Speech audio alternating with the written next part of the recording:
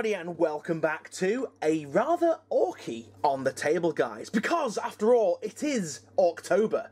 Um, not that we've had very much of a good October, and I'm actually not too sure when this video is going to be released because, whilst I am recording it during October, my PC is categorically fucked. So uh, it might not actually get out until November-ish. We'll have to see how much it costs me to get it repaired and how long it actually takes to rep- get repaired. Not sure what's wrong with it. I think the motherboard's died on it, or maybe even the CPU. Both of which which uh, are rather expensive to replace. So uh, we'll have to see when this actually comes out. But I'm recording it now for you guys during October. As you can see by all the detritus and all the um, amounts of plasticard, there is um, yeah quite a lot of um, stuff uh, that I've actually been getting on with. Um, first and foremost, it was my birthday at the beginning of October, so um, I decided to get a load of orc stuff in for my birthday. And do you know what? God damn it, my awesome family and my awesome wife delivered. I got some cool orc stuff for, for my birthday.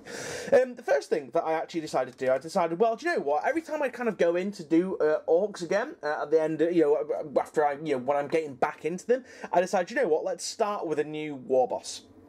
So I decided to make a new war boss. Why not? And I used a model that I've been thinking of doing uh, using for a while. It's the uh, the Orruk Mega Boss. Ugh. I feel fucking dirty having said the word Orruk. It's an orc. It's ORC for fantasy or ORK for fucking uh, sci-fi. What a load of shit. Games Workshop. Whoever decided to call them Orruks and just all the fucking fantasy name changes. If I ever meet you, I'm going to give you the firmest, most hardest slap you've ever had in your entire life. It's going to be so fucking hard that your fucking mum will feel it. And it's going to be a fucking so hard that it leaves a mark for many, many years to come. But anyway, I digress. Rant and rage over. Here is the new war boss that I have been working on. Let me just uh, pop the uh, front light on, just so I can get a bit of a bit of a better, um, bit of some of light on the subject. Well, there we go. As you can see, guys, here is my BC War Boss. He's not got his Iron Gob on yet. Definitely having an Iron Gob, um, just because it's going to make painting it a lot easier if I don't have the Iron Gob on it to start with. Uh, but yeah, guys, so this is quite clearly a Mega Armoured War Boss, and I'm very, very pleased with the way this guy turned out. If you guys have been following on Instagram, you guys will see that there is a lot of images of this guy on Instagram because he's he's he's just really good. He's one of my favourite conversions to date, I think. Speaking of the Instagram, guys, if you're not on the Instagram yet, don't forget the link is in the doobly doo down below. Uh, you can go there and give me a follow and uh, see little sneak peeks of what I've been up to behind the scenes, and also little sneak peeks of what I've been up to in my day to day life as well. Uh, so yeah, um, we have an Orc War Boss made out of the um, the Mega Boss from the uh, Age of Sigmar range. Um, really, really nice model to work with. Interestingly enough, um, it is quite a, a, stupid model to go together. There's no, there is like literally no posability with this model whatsoever. It is all one piece, practically snap fit. Uh, well, by by one piece, I mean it's like there's no, there's no angles like you can't alter the arms or the legs or whatever and it's just a bit of a ball ache really to work with. But luckily, I like the pose. He's kind of doing a come at me bro type stance. Uh, but anyway, so what have I done with this heavily, heavily converted, heavily modified piece of kit? Well, um, first and foremost, I decided I needed to change the feet. So we have some mega armored knob feet here. I was worried that they kind of look a little bit big, but they kind of suit him as well at the same time. I might go back in, I might kind of like shorten these feet down, but I really wanted to keep this little rivet down here, and obviously I couldn't shave it anymore because I'd be shaving it into the actual ankle, which I didn't want. Uh, next thing I decided to work on was obviously the, the knees. I needed to make them a little bit, a bit more 40k-ish, so I got the um, shoulder plates that I had lying around from um, various orc kits and uh, stuck them over the knees to make these great big spiky knee pads. Um, Zooming in more closely, you guys can see there. Um, we've got some little chains again for the Mega Armor kit and uh, some little tiny like little uh, glyphs from the Battle Wagon kit. Um, just wanted to make it a little bit more different, make it a little bit less obvious at a first glance that I've used the Mega Boss, so I kind of added some dags going on here. Moving round, we have is Gunarm. He's got a combi uh, shooter or combi Mega Blaster and Scorcher. It's basically a whatever the fuck gun I say it is when I'm actually using it in game. But that was made uh, by clipping off his actual arm and using a leftover a bit from the Kastelan robots from my Mechanicum army, combined with a bunch of looter and burner stuff and some extra spiky bits as well. Uh, moving round here, we have the uh, Power Pack, which is actually the torso of a Cromlech Cyborg, um, or Roborg, however you want to however you want to call them. And it just looked, it, it, fit quite well with a little tiny little Power Pack, little exhaust. I made a bigger exhaust going down the side, obviously. And we got some power cables going out of there, one into the gun, one into the claw. Um, it also adds a nice little shelf for his little Gretchin um, uh, guy uh, to uh, sit on the top. Now, I convert, in fact, I'm going to take the Gretchin guy off because he's um, actually only just blue tacked on. This is Nibbler. I'm going to call him, oh no, Niblet. I'm going to call him Niblet. I don't know why. Just there's a really cool name. Um, not your standard kind of Gretchin. He's using the, the head from the, I think it's the Boys sprue, I think, that you get, because you get like a grot in a little backpack with chewing on a little bullet. And then this um, tuft here, I think, is from the um, Flash Gits, not Flash Gits, um, the knob uh, sprue, just you know, because to show he's the boss grot, you know, he's, he's got a bit of a top knot going on with a skull. Um, not really much conversion, but I have drilled the barrels of his little grot blaster, which looks really cool, and he's going to add a nice little splash of colour to the miniature. Um, so moving up for, uh, further around, uh, we've got um, some little boss poles that I've stuck on, uh, some more like uh, bits of plastic card just to like beef him up a little bit. And then on top we've got a uh, rocket launcher assembly, which is a, a cyclo missile pod and plus a little extra rocket from the uh, flash kits. Not flash kits, I keep saying flash kits. Looters. Fucking looters from the looters sprue. And then a little targeting reticle because I like the idea that Niblet here kind of sits on back and Niblet's Niblet's in charge of firing the rocket, so he's got a little little cheeky viewfinder going on there, which is pretty cool. He's like looking right down at you, like, yeah, I'm gonna shoot you in the face the rocket. Um, the uh, shoulder pads again more little bits from the uh, from little you know armor plates what I had left over. And again uh, old old old boss poles. And underneath that we've got a uh, Terminator um, storm shield which I thought was pretty cool. Uh, once I clipped away and drilled away all the because this model originally has like a really big um, like a skull on the side of it uh, on his shoulder. It had this like nice flat area so I thought that would make good for a, a cool like shoulder pad kind of assembly uh, and then the face, as you guys can see, is Ghazghkull Mag Uruk Thraka's head. And I have four of these, weirdly enough. I only seem to ever remember buying one Ghazghkull Thraka model. Um, so I don't know how I've ended up with four Ghazghkull heads. Very, very strange. And then, guys, we have the biggest, the meanest, most awesomest power claw of the lot. We have Ghazghkull's actual power claw, perfectly cut off and perfectly positioned on the new model. There's a nice big pin running all the way through there just to um, substantiate it a little bit more. Um, but yeah, and I'm, I'm using Ghazghkull's um, iron gob as well. It's going to be really, really cool. Can't wait to paint this guy up. Um, actually, after I finish the video, I'm going to start getting some paint on this guy. So we will see how he turns out in the future.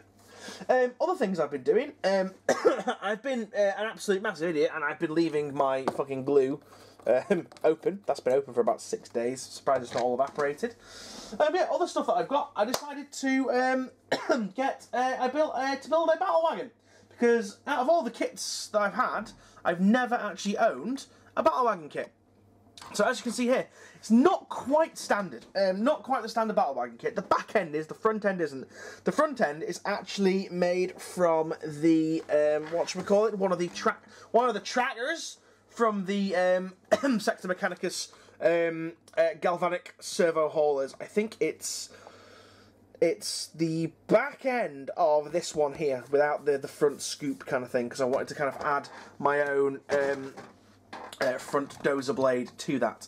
But anyway, let's let's have a look at this uh, overall construction. So uh, we've got uh, the you know standard back bit. The front bit is the the interesting part because we've got some really nice tracks. I really like the idea of like all tracked battle wagons. It just makes them look extra heavy and extra meaty. Um, so we've got some cool like engine worky bits here, which are going to paint up really nice with some uh, effects and some washes and some engine oil. We've got an awesome uh, engine resin engine in there from Foxbox, just it's just really nice. It just looks so worky. It's amazing. Moving around to the front, we've got this awesome dozer blade. Um, I'm not sold at the moment on this front one here. I definitely like the side um, circular saws because it just looks like if it drives past someone, it's just going to fucking kneecap them. And I really quite like how aggressive that feels. Oh, we had a little power spike, then the lights flickered on and off. That's probably what killed my fucking PC. Um, yeah, then we got some of the, the usual orky teeth kind of thing going on here. Then we got the little little, little Rolls Royce uh, wannabe little, little skull going on at the front. Um, we got a shooter going on here. Um, there's going to be the orc with the with the um, binoculars sticking out there again to add a little bit more of a splash of colour. Um, but you might have noticed um, it's a little bit bare, um, this uh, battle wagon, and I wanted to kind of like have a uh, first and foremost uh, a ride for my war boss, and um, he fits in there pretty well. You know, he's he's he's he's, he's quite comfortable in there. Literally, only he can get in. It's crazy how not to scale the vehicles are uh, in Warhammer Forty Thousand. Um, but yeah, so I decided I wanted um, to kind of have uh, a few other little whistles and bells on there. So I thought to myself, you know what would be really cool um, if I had um, a hard case on there, you know, so an alternate hard case that I could interchange as and when. So I made uh, a hard case or an art case, whatever they say there. That's basically made out of an old, old, old Leman Russ hull that I had. Um, and it got some little some little sponsons in there. Just I'm gonna have some grots in there with like the you know, the um, the sniper grots. Uh, just hanging out, and then I'm going to have another sniper grot in the uh, back of it here, this little back tray. Uh, just nice little, um, you know, extra storage, bulks it out quite a bit. Uh, and then I was like, oh, do you know what I really want? I really want um, a, a, front, oh shit, I really want a, a front turret uh, to that. So I made a front turret for it. Um, so so there's there's that. We got a zappy, nice zappy uh, front turret. Uh, and then I was like, do you know what this thing really, really needs? This thing really needs uh, another another turret. So I was like, okay, cool. So I made another turret for it, which is the actual battle wagon turret itself. And this is like the most super daiquiri uh, turret we've got. We got the actual cannon, we got uh, a big shooter on there, and then we've even got, which I found tucked away in a random bits box, an old, oh shit, it's falling apart, uh, an old uh, whirlwind missile turret. But then I was like, you know what this turret really needs? This turret really needs another fucking turret sticking on the top right there. So I decided, I know, I'll have another shooter turret. There's going to be another Gretchin sticking out there, and it's getting quite tall and um, I'm really, really liking the way it's going so far. um, and then I was like, do you know what this really needs? This really needs some oomph in close combat. So what I did, I um, used these kind of like hard points here, and I put a magnet in there, and I magnetized some uh, mechanical arms to it. And then I was like, do you know what else this needs? This needs another mechanical arm on the other side. So I magnetise another one right there. So we've got a grabby arm, and we've got a rippy pinchy arm here. And it looks like someone's kind of made a dreadnought, combined it with a truck, and then that's how it came. That's how what happened. Um, however, there's still plenty of room for improvement on this mechanical fucking beast. Um, I think what I'm going to do I'm gonna have um, the grots, one of the grots with a gun uh, at the top, at the very very top turret right here, um, just just because I can, because because why the fuck not? Um, I think I'm also gonna have um, the orcs because uh, you get quite a few orc boys um, with the. Well, you don't get quite a few. You get like four orc boys with the battle wagon kit.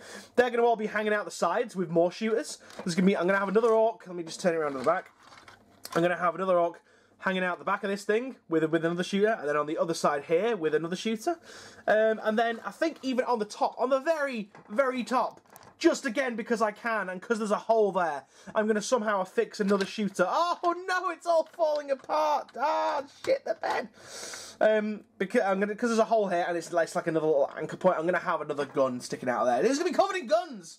I don't care if I can't use him. It's just awesome, and it's Orky, and he goes dakka dakka dakka dakka dakka. But as as a result of this, with all the crazy naming that's going on with the new GW Orc uh, buggies and stuff, I am gonna call this the Snazz Boom Dakka Wagon because it goes snazz, it goes boom, and it goes dakka dakka dakka, and it is indeed a wagon. Um, but anyway, guys, please let me know what you think. My battery's about to run out, so I'm going to have to make this quick. I'm going to have to wrap this up. Thank you very much for watching. Please leave a comment in the doobly-doo down below what you think of the uh, wagon and the boss, and I will see you guys in the next video. Don't forget to like, favorite, and subscribe and all that bollocks. So, thank you very much for watching, and I'll see you guys again. See you now, and goodbye. Don't forget to subscribe, and don't forget to leave a comment. Goodbye!